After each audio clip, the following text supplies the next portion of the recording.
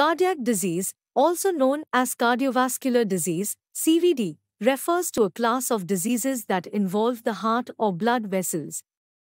It is a broad term encompassing various conditions that affect the cardiovascular system.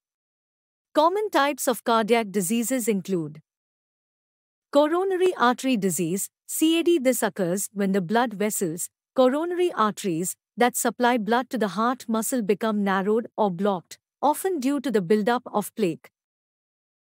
Heart failure. This condition occurs when the heart is unable to pump blood effectively, leading to inadequate circulation and oxygen delivery to the body's tissues.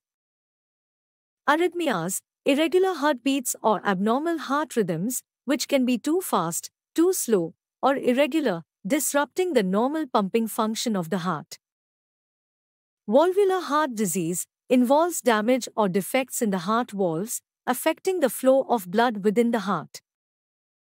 Cardiomyopathy refers to diseases that affect the heart muscle, leading to changes in its size, shape, and function. Peripheral artery disease, PAD a condition where blood flow to the extremities, usually the legs, is reduced due to narrowing of the arteries.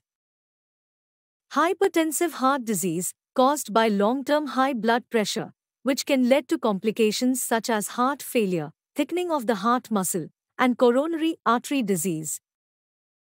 Congenital heart disease refers to heart defects present at birth, which can affect the heart's structure and function.